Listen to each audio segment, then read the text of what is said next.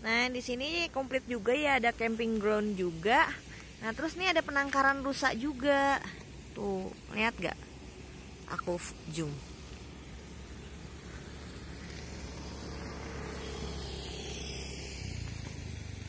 Rusanya gemuk-gemuk. Kalau dikelola swasta emang pasti terawat ya. Rutani. Hah? Rutani. Rutani emang. Tapi kok rusanya gemuk. Nah, ini camping ground yang paling depan samping apa namanya Bobo Box cabin sama nah ini ada iglo camp.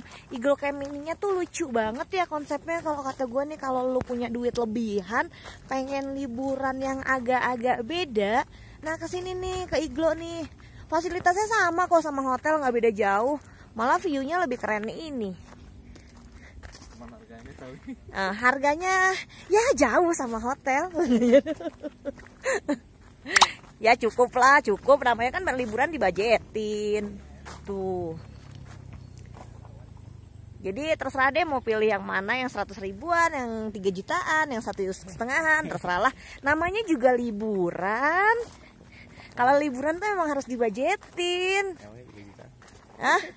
Kayaknya ya gitu dah.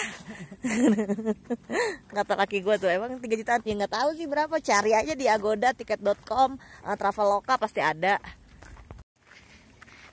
Nah ini buat iglo campnya. Ini karena full pengunjung jadi nggak bisa. Tuh.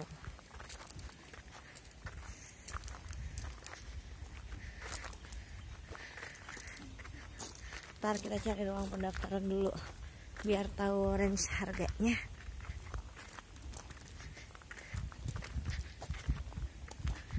Agak enak banget pemandangannya.